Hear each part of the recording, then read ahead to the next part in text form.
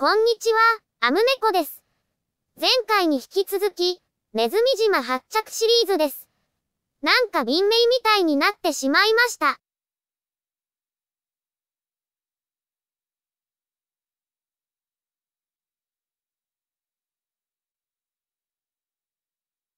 上の島から海岸の小桜がよく見えます。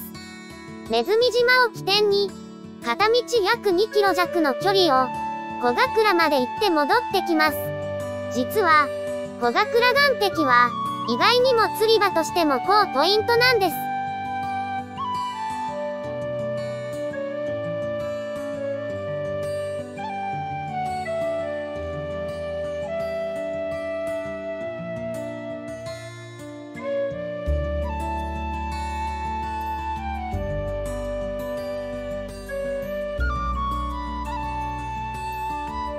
いつもの女神大橋と長崎港です。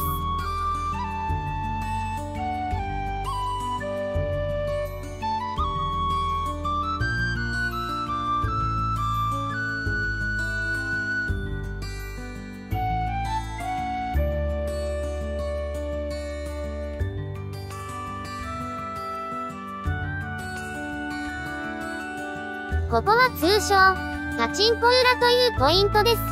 車を横付けして手軽に釣りができます。しかし、意外なことに、ここは黒鯛ではなく普通に鯛が釣れる高ポイントです。30センチ程度までが主ですが、たまに大型のマダイが釣れることがあります。他に、イラと言われる大型のベラみたいな魚も釣れます。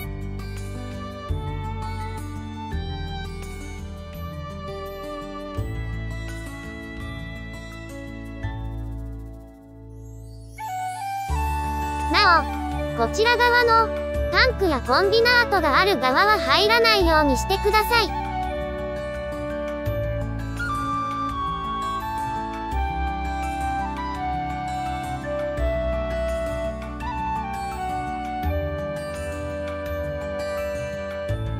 ネズミ島へ戻ります。